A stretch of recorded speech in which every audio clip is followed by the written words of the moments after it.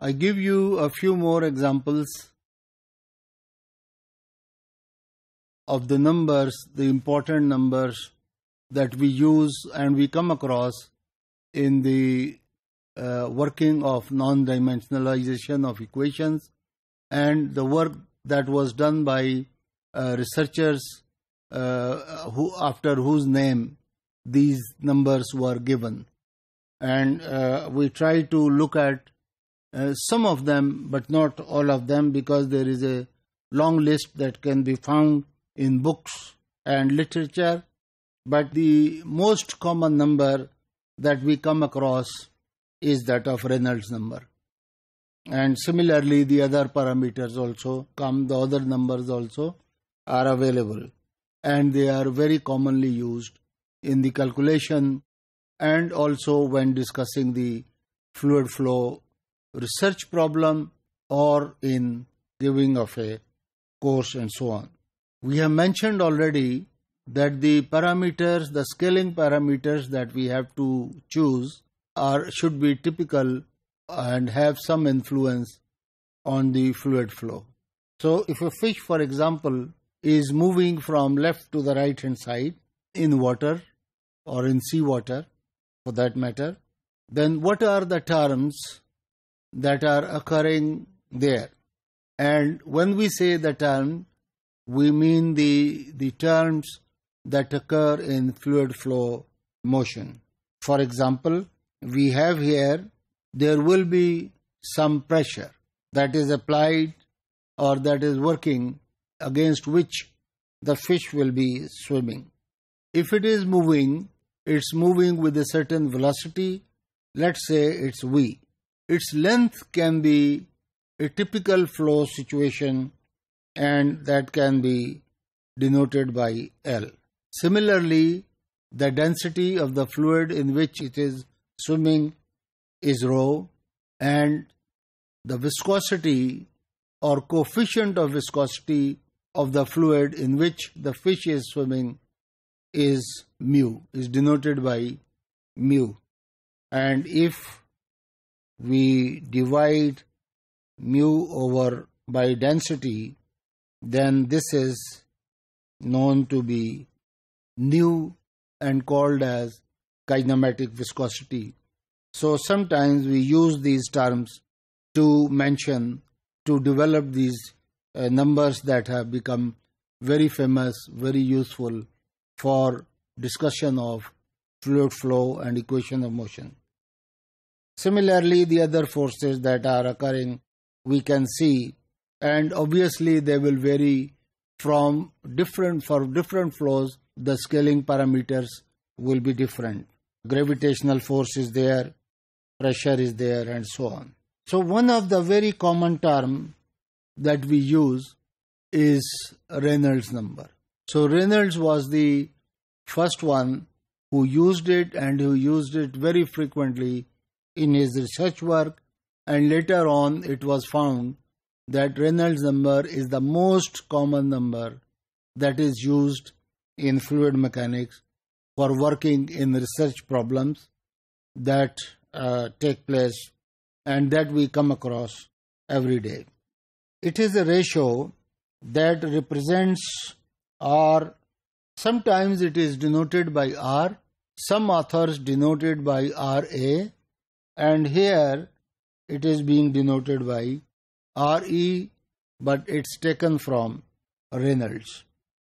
And it is the ratio of velocity over L velocity times L divided by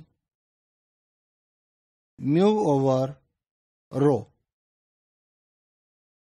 So if we see velocity into length actually is in a way representing the momentum force that is occurring in the in the, in the fluid and mu over rho is representing the kinematic viscosity. You can write it in whatever form you want, but this is the quantity. So this is the ratio kinematic viscosity nu. So Re can also be written as VL over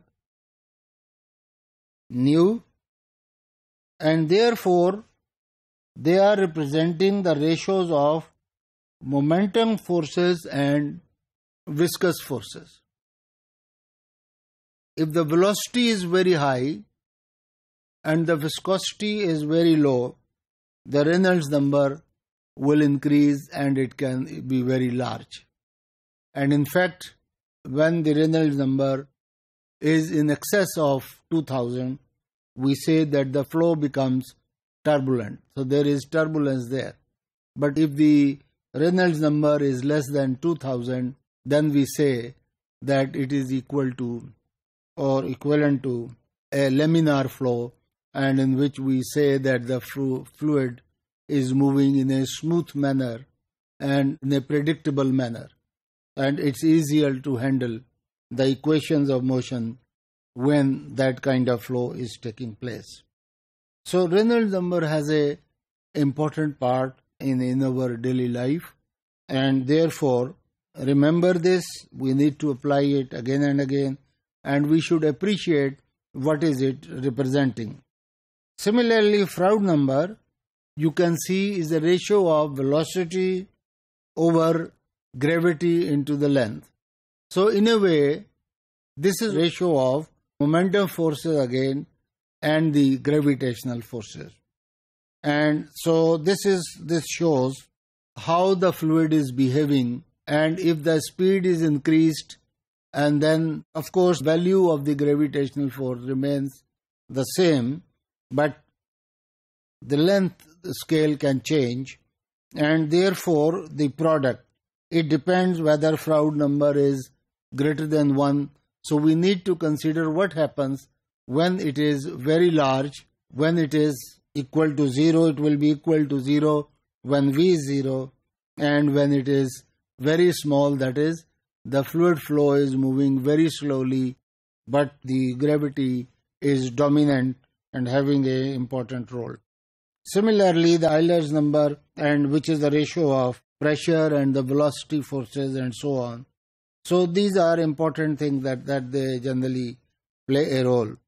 In a general unsteady fluid flow problem with a free surface the scaling parameters include a characteristic length L as we just show in the earlier photograph, the characteristic velocity V, a characteristic frequency F, and a reference pressure difference P naught minus P infinity.